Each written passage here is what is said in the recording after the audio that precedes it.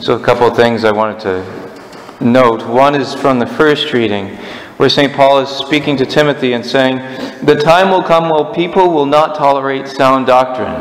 I wonder when that is.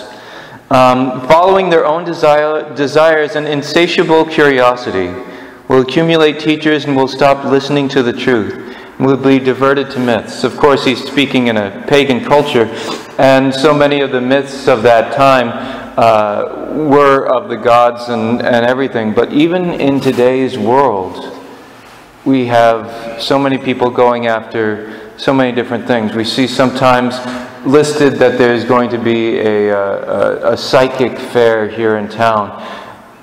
Going after these things, seeking secret knowledge, secret power, is do we think it's wrong because they're fake? No, we think it's wrong because they're real.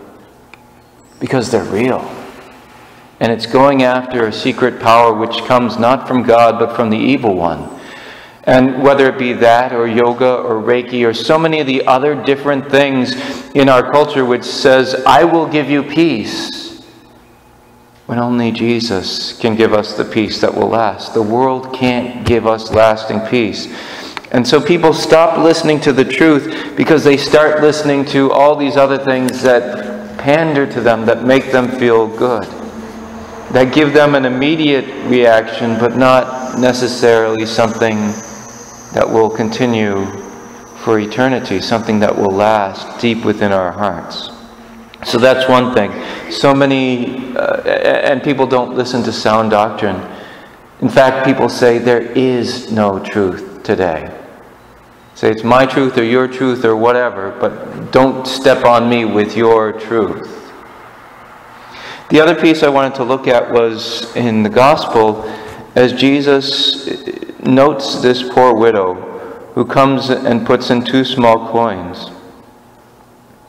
He says, This poor widow put in more than everyone else, all the other contributors to the treasury, because from her poverty she has contributed all she had, from her livelihood where they contributed from their surplus wealth. I think I've shared with, this with you before, but one of my friends in the seminary one day came to me when we were in seminary and said to me, You know, I, I know I needed to get rid of stuff. I've been hoarding stuff too much, so uh, there were these things that I had that I realized I wasn't using, I didn't like anymore, so I put them out for other people to take says, I'm working on it. I looked at him and says, Well, that was so generous of you. You gave people things you didn't want anymore.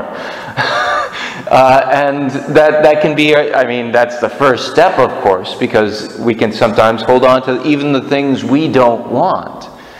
But Jesus doesn't say that that's generosity. Rather, what our call is, even to the things we do want, the things we do need even from our, uh, our, our livelihood, not just from our surplus wealth. And this is something, you know, I, am working on myself. I, I, I feel at times like I give a lot, but then I look and say, yeah, but there's always that cushion that I keep. This lack of trust. And it's not just about wealth either. It's also about our love.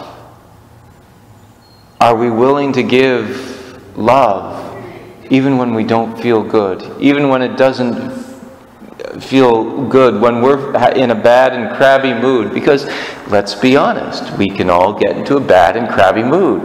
I'm sure we've all been there. And in those moments, that's when we have to give from our livelihood, not from our surplus.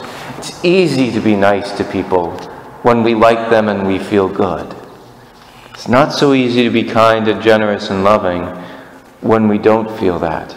So Jesus and Paul are challenging us today to listen to the truth even when we're not ready to hear it.